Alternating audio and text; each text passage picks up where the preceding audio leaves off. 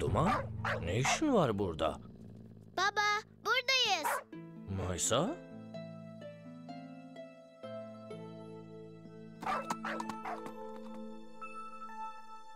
Devran emmi ayakkabıdan söz etmek yok tamam mı?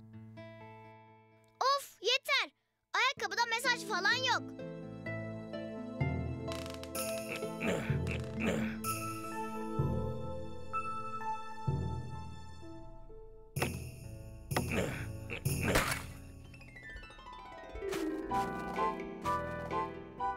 Ne işiniz vardı burada? O ayakkabı Erez amcanın mı Devran emmi? Şimdi anlaşıldı. İyi ki geldin Devran emmi. Yoksa e, Sana burada olduğumuzu kim söyledi baba? Ee, babamı arıyordum. Yaman dede mi? Dedem mi? Hani dedem nerede?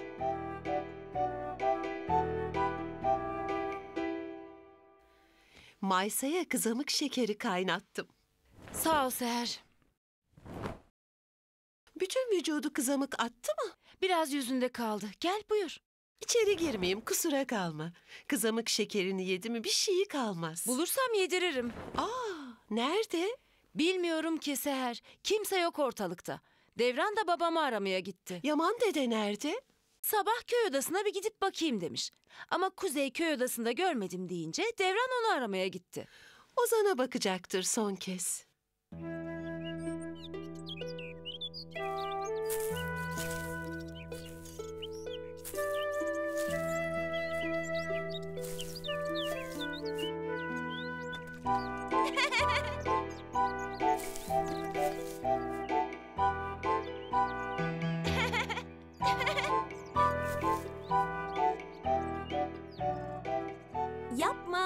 Çok işim var.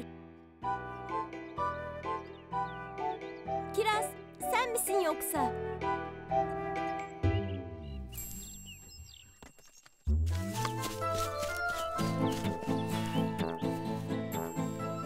Dere boyu pıtırak. Gelin kızlar oturak. Ne oturak? ne durak.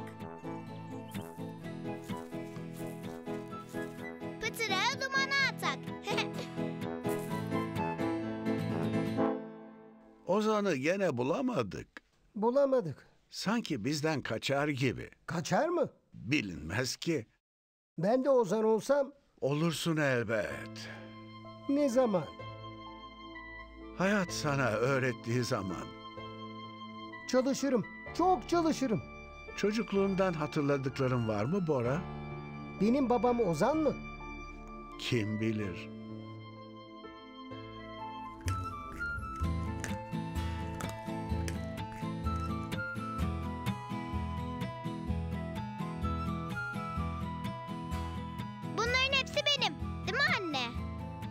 Maysa yine mi şeker yiyorsun?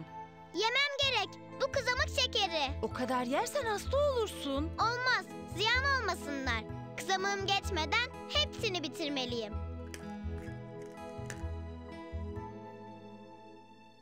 Babamın Bora'yla olduğunu anlayınca rahatladım.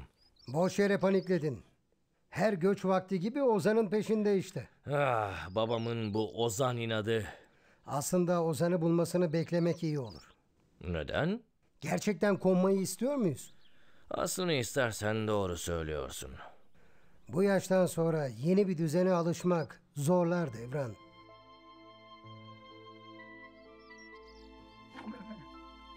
Bir yandan Erez abim yapabildiyse biz de yaparız, alışırız diyorum.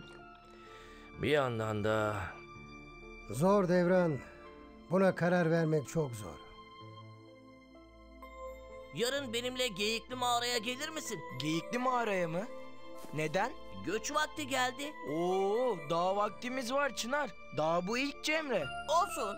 Belki bir daha zaman bulamayız. Ben de çocuklarım için Geyikli Mağara'ya bir mesaj bırakmak istiyorum. Çocukların mı? Yani ileride benim de çocuklarım olursa. He anladım. Babamların bize yaptığı gibi. Evet. Belki de bir köye yerleşeceğiz artık. Sence yerleşecek miyiz? Ozan'ı bulursak. İnşallah bulamayız. Ben bir köye yerleşmeyi isterim. Ya sen Günsel? Bilmem ki. Düşünsene. Güzel olmaz mı? Özlemez misin buraları? Özlerim. Özlerim de isteyince gelip görürüm buraları. Görürsün de burada yaşamak gibi olur mu? Köyde yaşamak da güzeldir eminim. Bilmem ki. Belki de İnşallah dede Ozan'ı bulur. Kiraz, şu kabı bana getiriver bakalım.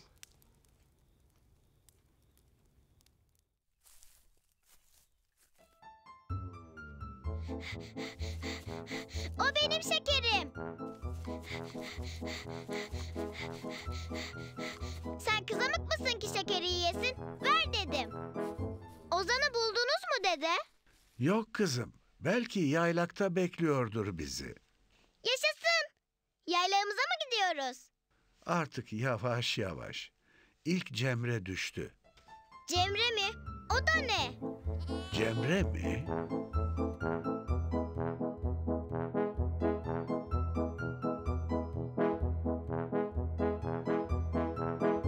Gökte yaşarmış Cemre.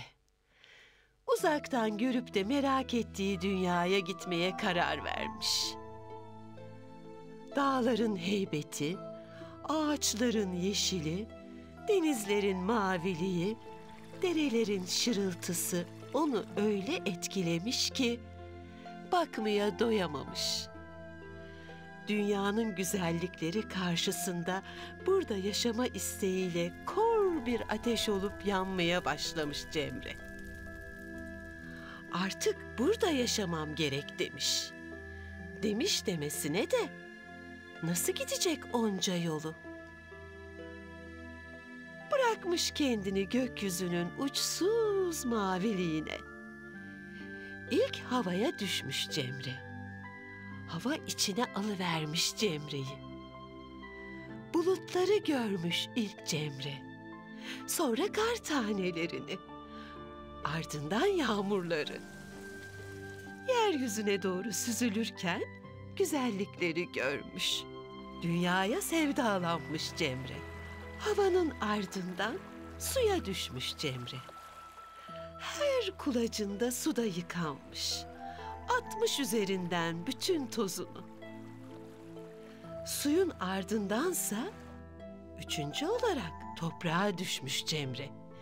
Etrafına bakınırken sevdalısını görüvermiş yanı başında. Cemre'nin bu sevdası ılık hava getirmiş, baharı müjdelemiş dünyaya. Her yıl bir Cemre sevdalanır dünyaya gelmek ister. İlk havaya, ardından suya, son olarak da toprağa düşermiş. Öyle derler ki, Cemre'nin son düştüğü akşam Poyraz'la Lodos kavga ederlermiş. İkindiden sonra Poyraz fazla eserse kış uzar, Lodos fazla eserse bahar çabuk gelirmiş.'' hangisi galip gelirse.